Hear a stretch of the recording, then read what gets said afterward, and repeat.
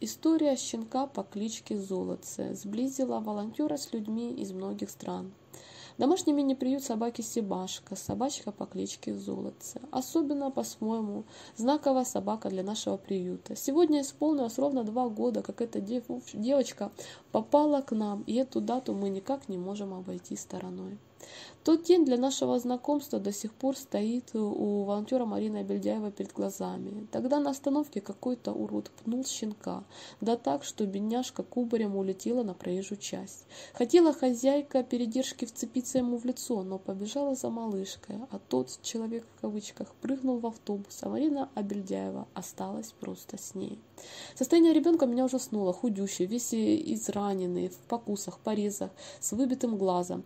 И весь этот кошмар тогда оказался лишь верхушкой айсберга. Тогда я не могла представить, что девочка к своему двухмесячному возрасту еще успеет пережить остановку сердца, отеки легких, падение температуры до критической отметки. Вспоминает те дни женщина.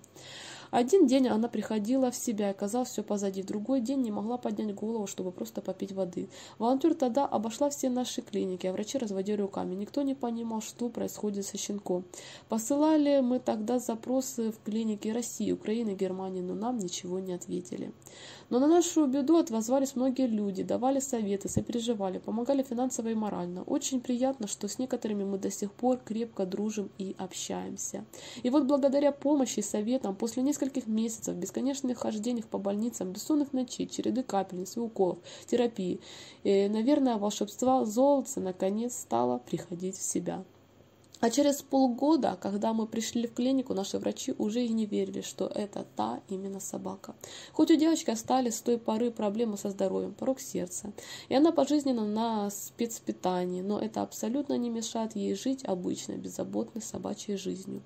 Более того, она знает о своей особенности, знает о э, привязанности хозяйки к ней и всегда позволяет себе немного больше, чем другие.